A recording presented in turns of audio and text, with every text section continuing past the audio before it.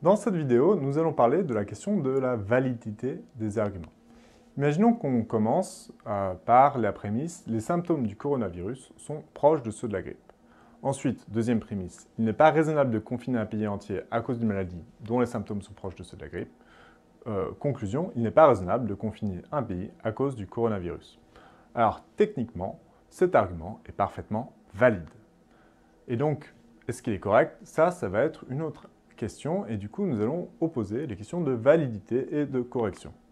Donc, en l'occurrence, si on analyse si les prémices sont vraies ou faux, bah, tout d'abord, euh, non, les symptômes du coronavirus ne sont pas réellement proches de ceux de la grippe, puisque si c'était aussi simple que ça, il n'y aurait pas eu euh, autant de morts, et, surtout, il y a eu beaucoup d'autres symptômes qui n'étaient pas ceux de la grippe.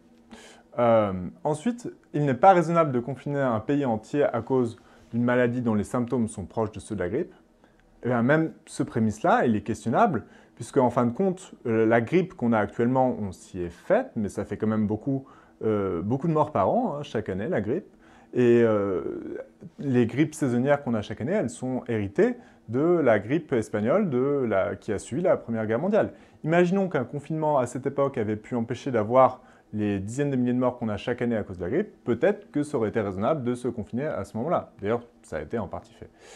Euh, et du coup, aucun des deux prémices ne peut être considéré comme complètement euh, absent de, reproche.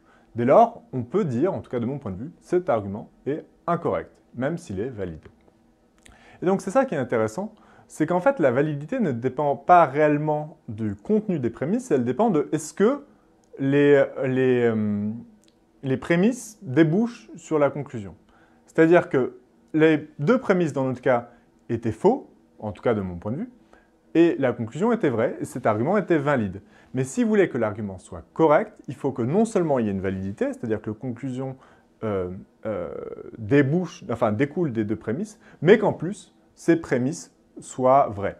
Donc on peut représenter les choses comme ça, avec les arguments euh, corrects correspondent à un sous-ensemble des arguments valides. C'est-à-dire un argument correct, c'est un argument valide dont les prémices sont vraies.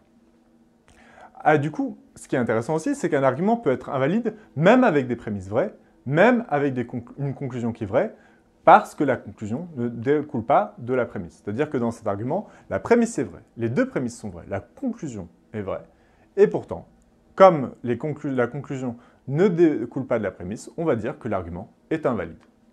Et donc, c'est ça qui est très important pour comprendre ce que c'est un raisonnement fallacieux, c'est un argument qui est invalide.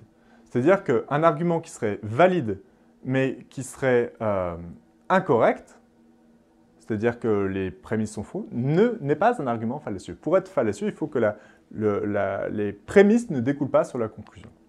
Et donc, en termes de conclusion, c'est pour ça que souvent, quand on parle d'argument fallacieux, on parle de non sequitur, ne découle pas de. C'est un mot que vous entendrez assez régulièrement, si c'est du latin, si vous vous intéressez aux questions d'arguments fallacieux.